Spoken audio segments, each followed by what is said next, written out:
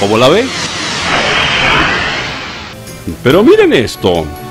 Esta es la calle del Palacio de Justicia que por cerca de un año la mantuvo cerrada un contratista que levanta en el sector un edificio al que llama inteligente. Pero todo indica que la inteligencia solo alcanzó para el edificio y nadita le tocó a la callecita que cerró sin que mediara autoridad alguna que le hiciera cumplir normas de urbanismo y otras hierbas que al parecer se pasaron por la faja.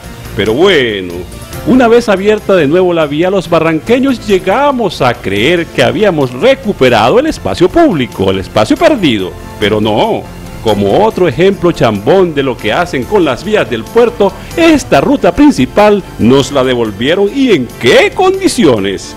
Miren estos bordillos, miren estos huecos, miren cómo corre este hombre espantado ante tanto descaro tenemos la esperanza de que corrijan y pavimenten como estaba antes de que la destrozaran esta vía que conduce a la justicia. De lo contrario, nos sacarán la piedra los barranqueños. ¿Cómo la ve?